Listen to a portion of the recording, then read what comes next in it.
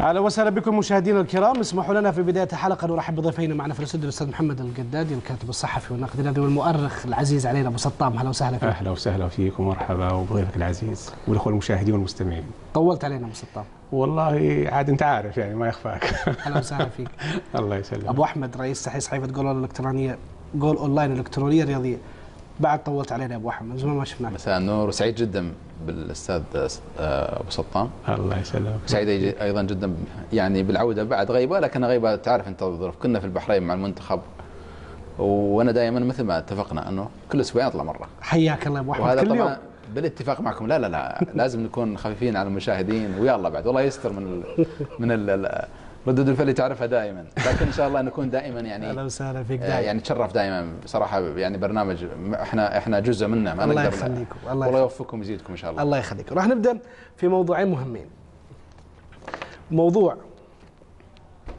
اتحاد البلياردو والسنوكر وموضوع المكالمة السيئة جدا اللي انتشرت اليوم في مواقع التواصل الاجتماعي عن الكابتن فهد الهريفي وياسر القحطاني. راح نبدأ اولا في موضوع الاتحاد السنوكر تم تمديد عمل إدارة التحقيق أو إدارة الشؤون القانونية لمدة عشرة أيام إضافية. يبدو أنه هناك أشياء ممكن تنكشف في خلال العشرة أيام ال- القادمة. قدموا الأخوان في الإدارة القانونية مبرراتهم للرئيس العام لرعاية الشباب قبلها ويبدو أنه رأى في مصلحة من هذا التمديد. إحنا معه. إحنا مع انه التحقيق ياخذ كامل الوقت والاجراءات بس ما يطول يعني إن شاء الله ما يطول. إحنا كنا المفروض اليوم نقول باقي يوم واحد راح نضطر نغير على الشاشة ونقول باقي 10 أيام. باقي 11 يوم معناته ليش؟ يعني من اليوم تقول- تبدأ 10 تقول أيام. باقي يوم واحد أنت لا هو ما قال 10 أيام إضافية ولا 10 أيام من اليوم؟ من نهاية الفترة عطهم يوم زيادة ما عندي مشكلة من نهاية الفترة طيب يعني باقي 11 يوم. إي عطهم يوم أبد طيب يبقى 11 يوم بعد الفاصل يصير باقي 10 أيام ندخل في اليوم الجديد. إيه؟ باقي 11 يوم يغيرونها الشباب لو سمحتم على الشاشة ونشوف نتيجة التحقيق. هل هي مع نايف لاعب ال- السنوكر العالمي ولا مع اتحاد البلياردو والسنوكر هم اللي معاهم الحق. لكن واضح من طلب التمديد إنه في أشياء جديدة قاعدة تنكشف. يبدو ان المسألة فيها جذور. أبو سطام أبدأ معك. بسم الله الرحمن الرحيم. آه، طبعا هذه القضية احتلت آه، اهتمام خاص فيما يبدو وعلى ضوء البيان الصادر اليوم زي ما تفضلت من سمو الرئيس العام الأمير نواف آه، بن فيصل. ولدى الرياضيين عامة. ولا أدل من ذلك موضوع التمديد. أنا شخصيا ما انزعجت من موضوع التمديد بالعكس أنا أشكر سمو الأمير على موافقته على التمديد. أشكر لجنة النظر في هذه القضية على أنها مددت. هذا يعطيني مؤشر أساسي. إنه زي ما تفضلت قد يكون هناك أشياء جديدة. أشياء جديدة تحتاج بحث. لا ننسى في عندنا مسألة في غاية الأهمية. أنا اطلعت على الحلقتين اللي أجريتها حضرتك مع اللاعب نايف الجعويني أه لاحظت كما لاحظ أغلب المشاهدين أه إنه أغلب القضايا تمتد من عهد الأمير فيصل بن فهد رحمة الله عليه يعني بعضها أو غالبيتها من 15 سنة. جزء أكبر في تلك المرحلة كان جزء آخر أقل في عهد الأمير سلطان بن فهد. يمكن موضوع واحد أو كذا هو فقط قبل أربع سنوات. فإذا نحن قاعدين نحكي آه وعذرا ترى أنا تخصصي قانون عشان كذا أبغى أحكي شوية في هالمسألة. أحكي يا أبو إيه؟ مسطح. إحنا قاعدين نحكي آه، في مسألة تحتاج إلى أوراق. وإلى إثباتات.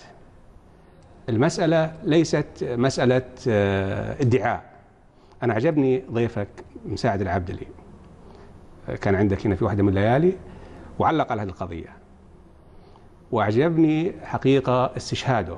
أولا عقله ثانيا استشهاده بالقصة المروية عن سيدنا عمر بن الخطاب رضي الله عنه. لما جاء له واحد وقال له أنا عيني مفقوعة قال له انتظر خلينا نشوف الثانية يطلع عيونه تنتين إيه؟ مفقعة. فإذا قضية زي هذه تحتاج شيء من التأني تحتاج آه، عدالة وهذا هو اللي إحنا نترجاه الحقيقة من آه، اللجنة اللي تنظر هذه القضية ومن قبل ومن بعد من سمو الأمير نواف بن فيصل الذي لم يتخذ مثل هذا القرار إلا تبعا للمعطيات التي ظهرت. يعني أنا الآن لو تسالني عن ورقة عندي صغيرة يمكن قبل أسبوع أحتاج وقت إلى ان أبحث عنها وأنا مكتبي صغير. فما بالك بقضية لا على البال ولا هي على الخاطر متجذرة متعددة الأوجه لأنه النايف الجعوين لما جاء. رمى سهامه في كل حدب وصوب ما ترك آه لا شاردة ولا واردة. لكن أنا شخصيا لو سألتني اللي أثارني وأنا حقيقة لست مع الاتحاد ولست مع نايف أنا أبحث عن حقيقة ولكن أثير علامات آه، استفهام وتساؤلات. غالب ما استند إليه قصاصات صحفية. وهذه آه، إشكالية لاحظت إنه يقول سمعت قالوا ما أدري إيه شغلات يعني تحتاج إلى سند وتحتاج إلى توثيق.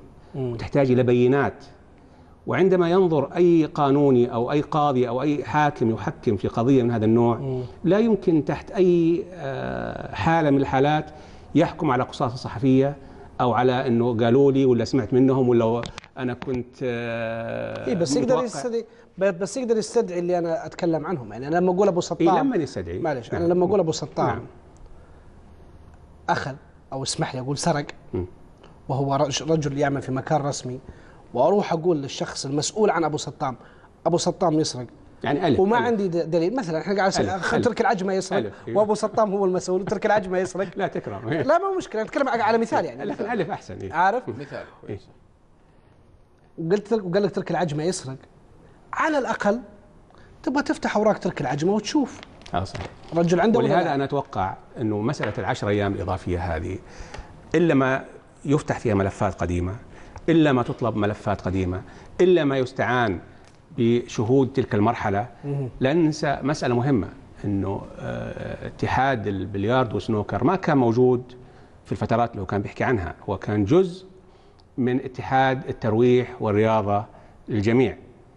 وهذا يعني آه، وتغير مسماه أصبح الرياضة للجميع وخرجت منه عدة اتحادات أخرى. فعلى كل حال ال- اللاعب له حق الادعاء وعليه يقع عاتق الإثبات. وهناك آه، لجنة تنظر في كل ما قدم وسيقدم اللي نحن نرجوه حقيقة إنه ال- العدالة تصب في مكانها الصحيح. إن كان للاعب حق يجب أن ينصف فيه. إذا لم يكن له حق يجب أن ينصف الاتحاد يجب أن يعاقب. ورئيس الاتحاد ويعاقب اللاعب. وهذا اللي إحنا ندور. شايف كيف؟ ندور ننسى يعاقب المخطئ وهذه لأنه بس. شوف أنا عندي حقيقة رسالة أيضا لإخواني اللعيبة الآخرين. لا ننسى الآن أنه هناك في نظام يتعلق بشيء اسمه الدعاوى الكيدية. لو ظهر في هذه القضية أو في أي قضية قادمة أخرى في أي مجال في من مجالات الادعاء في أعمال الدولة فمعناته لن يترك الأمر كما هو مفتوح بحيث يتاح لأي واحد أن يلقي التهم جزافا. اللي ما يملك دليل قطعي على الأقل يوضح هذه المسألة ويقول إنها شكوك ويعالجها بطريقة صحيحة لكن ما يظهر على الإعلام ويحكي بشكل مفتوح ويسيء لأنه إحنا لحظة لما نحكي عن. الاتحاد. الاتحاد ليس شخص واحد. في سبعة في تسعة في ما يخالف. أبو خمسه خمسة. أنا نعم. بقول لك شيء. وأتمنى نعم. إنه كمان ما يفهم من كلامك لا لا لا لا لا معلش خلينا نقول شيء إحنا كمان نعم، للناس أنت. أنت تكلمت خلينا. نوضح أمر نعم، للناس نعم. إنه لا يفهم من كلام أبو سطام نعم. بأي حال من الأحوال إنه ترى اللي شايف شيء غلط اسكت ترى لو ما ترى في أشياء كيدية إحنا نقول إيه؟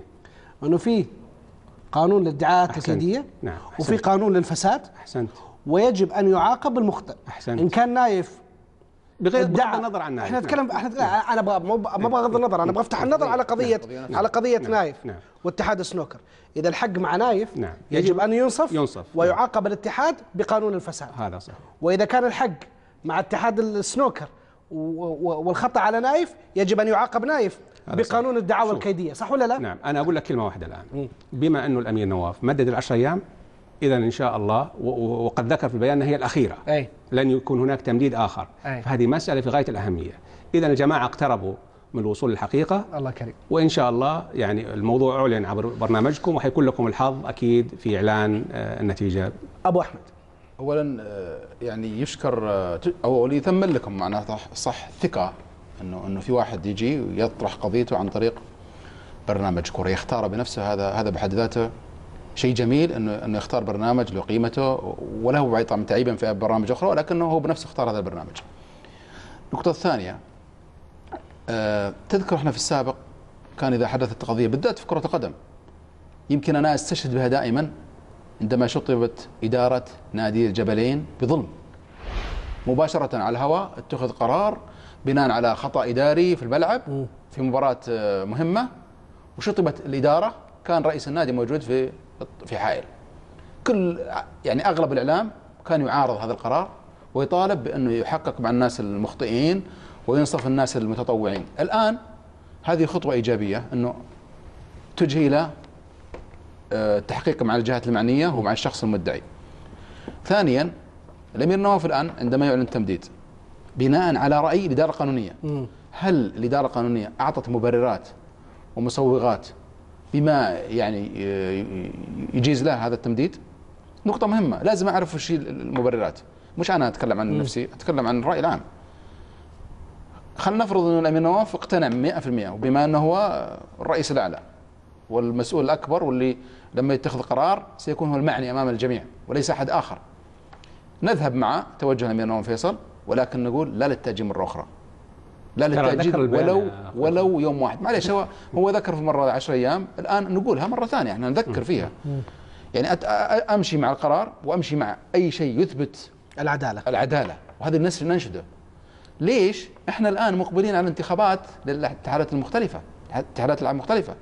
مقبلين على انتخابات الجمعيه العموميه لذلك هذه القضية يجب أن يبنى عليها العمل الجديد.